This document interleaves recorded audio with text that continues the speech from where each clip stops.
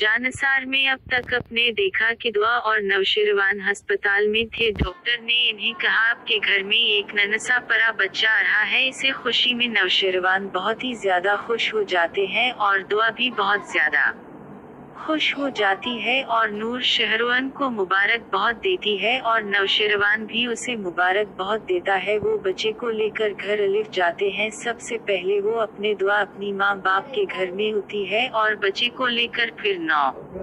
शेरवान कहता है, जाओ, मैं तुम्हें अपनी हवेली भी दिखाता हूँ। और बच्चे को बाबा से और ममा से भी मलवाना है। जाओ, दुआ तुम भी साथ चलो। बाबा साइन और अम्मा साहब बहुत ज़्यादा खुश हो जाती है। बाबा साइन और शेरवान को मुबारक बहुत ज़्यादा देता है और इसके बाद कहता है, मेरी बच्ची और मेरे बच्चे का तुमने ख्याल बहुत ज़्यादा रखना है। आप मुझे शिकायत का मौका ना मिले।